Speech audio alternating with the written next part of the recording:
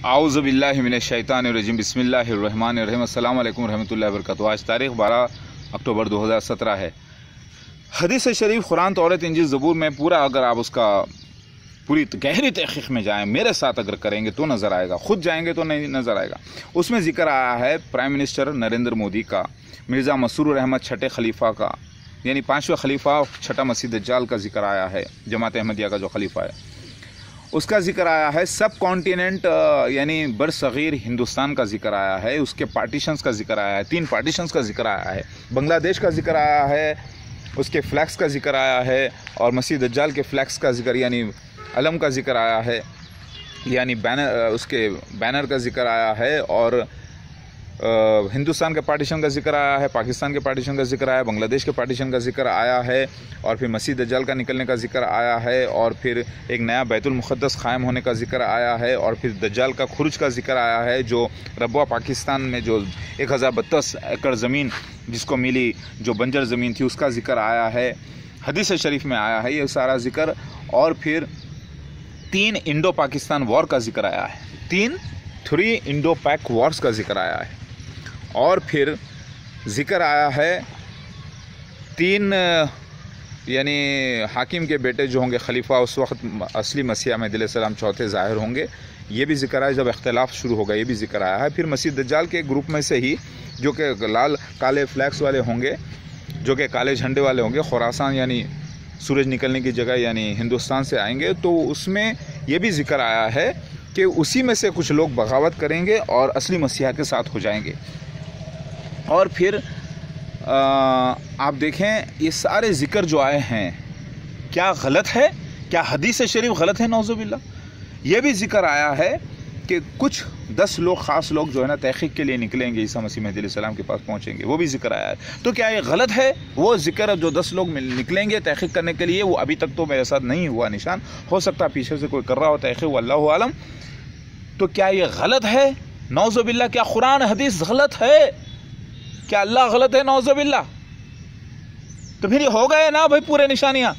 अरे भाई, समझने की बात है अखल इस्तेमाल करो यार। इन हदीसों में ज़िक्र डेट्स आते हैं, लेकिन सिक्के का पलटा के देखो तो दिखेगा आपको।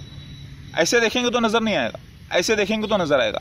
जैसे बब्बर शेर के ऊपर लोग दिब्बर शेर को समझ के दाढ़ी होती है तो सिख हजरात बेचारे, खालसा लोग, गुरु नानक जी को मानने वाले, गुरुओं को मानने वाले वो लोग बेचारे फुल दाढ़ी रख लेते हैं, पूरी दाढ़ी रखते हैं, पूरी दाढ़ी इतने भर के।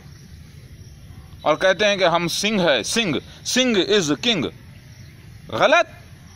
सिंह बब्बर शेर को दाढ़ी नहीं होती। मतलब दाढ़ी मतलब बाल तो होते हैं, रोमांटे होते हैं थोड़े बहुत, ऐसे ऐसे, लेकिन जैसे नहीं होती, उसका चेहरा पूरा क्लियर होता है। आप ऐसे करके देखें। और जो ऐसे बाल जो गर्दन तक होते हैं, जो शोल्डर तक आते हैं, देखिए मेरे बाल शोल्डर तक हैं। आप गवा रही है ये मत समझना कि मेरे बाल शोल्डर तक नहीं है।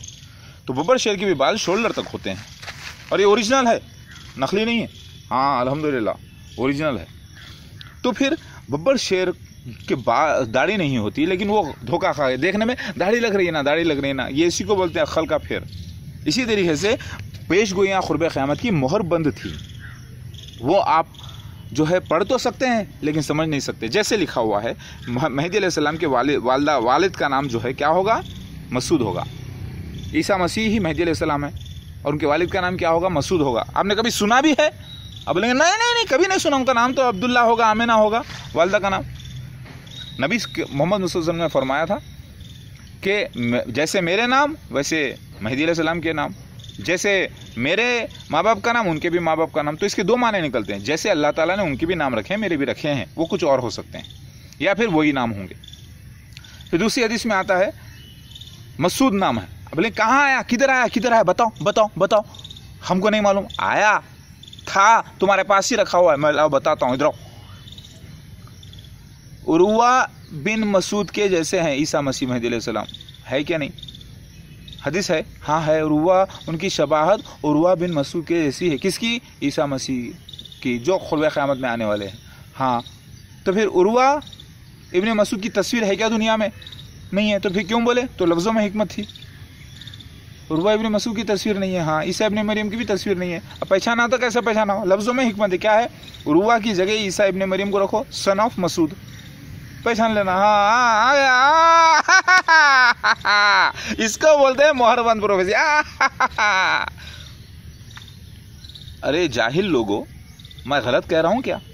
मैं गलत नहीं कहता। हिकमत इसी को कहते हैं। न अरे पढ़ रहे थे हम। ईसा इब्ने मरियम की तस्वीर जो है ईसा इब्ने मरियम की शबाहत उर्वा बिन मसूद के जैसी है।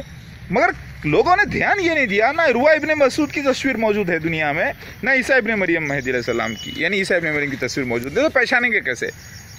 हाँ इसी को कहते हैं। उसी तरीके से सुरैया, उसी तरीके से सुरैया, मेरे वालदा का नाम, जो सही बुखारी में आया। अगर ईमान एक वक्त सुरैया पर चले जाए तो एक या एक से ज़्यादा सलमान फारसी से वहाँ तक पहुँच जाते हैं। पहुँचते कई को है?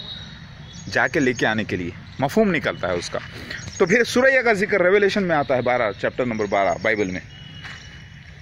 समझे बात? कैसा? एक औरत जो आफताब को ओढ़े हुई थी, यानी सूरज को ओढ़े हुए थी, यानी काली औरत। इसके माने निकलते हैं, जिसके सर पर बारह सितारों का ताज, यानी क्लस्टर ऑफ़ स्टार्स यानी फ्लेट्स यानी सुरैया। अब आप बताइए, सुरैया के दो माने।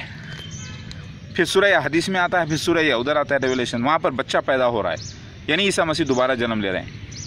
हदीस में भी आता है, दोबारा जन्म लेने का। नए नाम के साथ आएँगे, बाइबल में आता है।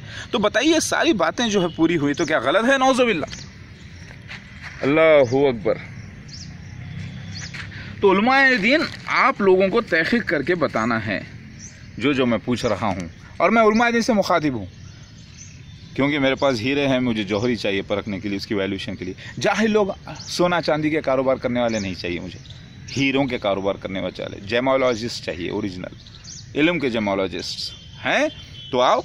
नहीं तो दूसरे तो भाई, जाहिल लोग हैं, बेकार लोग हैं। दाढ़ी रख के कपड़ा पहन के मुसलमान होकर दो चार सिजदे कर लिए कार बार नमाज़ पढ़ ली तो अपने आप काबिल आलिम समझते हैं। ये लोग नाम के मुसलमान ये बेचारे कचरे के भाव के हैं।